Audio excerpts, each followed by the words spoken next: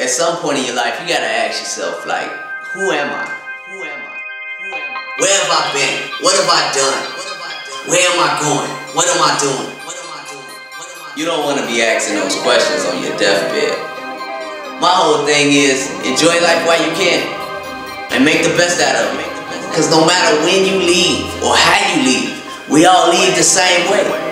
One second you here, next you gone. Just like that.